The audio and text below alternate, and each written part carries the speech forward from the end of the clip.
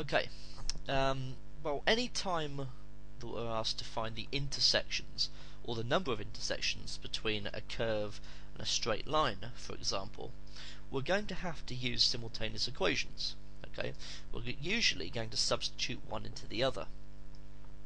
So in this case, the question is asking, here is a straight line, here is a circle, can you determine whether there are any intersections? Okay, we're not going to look exactly at the points of intersection, if there are any, we're just going to work through the method to show if there are or not. Okay, so, first of all, I'm going to rearrange the straight line, the equation of the straight line. Okay, so I'm actually going to add y to both sides, and I'm going to rewrite it as y is equal to x plus 1. Okay, that will make things a lot easier. Now I can just do a straight substitution into the equation of the circle. Okay, so we're going to get x squared minus 6x.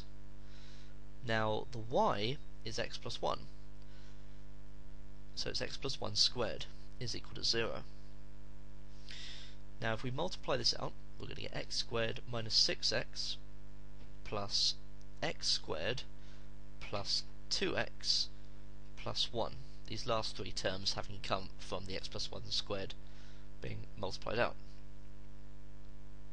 Okay, so we've now got, if I group terms together, 2x squareds, we've got minus 6x plus 2x is minus 4x,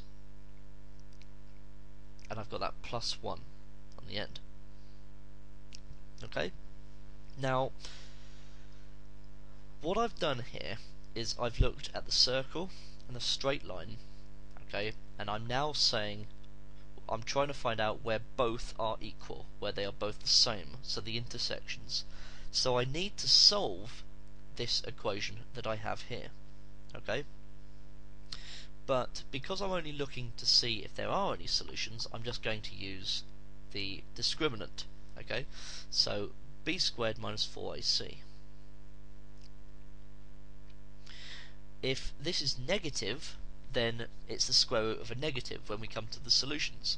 So there will be no intersections between the two. Okay? If there is if it is equal to zero, if the discriminant is zero, then that means there is only one solution, which means the straight line is a tangent to the circle. Okay, so only crosses only touches the circle once. On the other hand, if the discriminant is greater than zero, then there are two distinct intersections. Okay. So b squared, so that's minus 4 squared, so that's 16. And we've got 4 times 2 times 1 is 8, so minus 8. So 16 take away 8 is 8, which is greater than 0.